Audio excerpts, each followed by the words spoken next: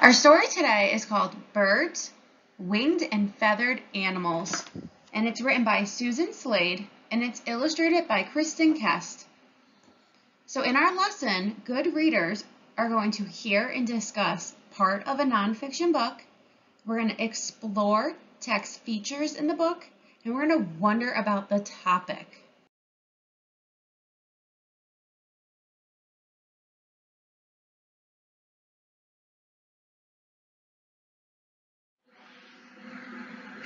Home sweet home.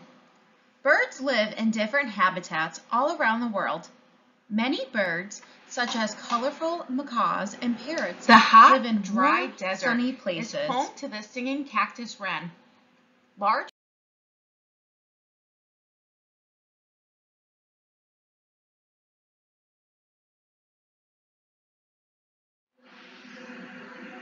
Perching and water birds. Robins, cardinals, and other perching birds live in woodlands and gardens. These birds have Water birds live near lakes, grip rivers, and tightly. oceans. A Most are graceful swimmers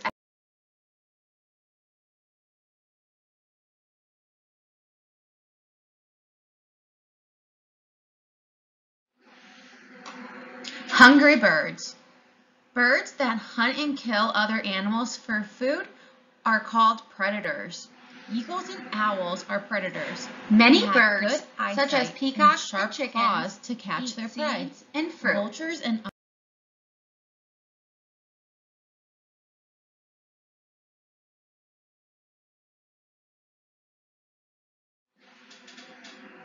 Flightless birds. All birds have wings, but not all birds can fly. Flightless birds have other ways of getting around. Ostriches and emus With have short long, legs, strong legs for running. waddle slowly An ostrich can run as fast as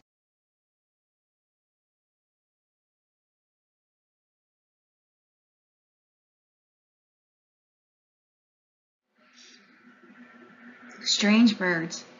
Swifts spend most of their lives in the air.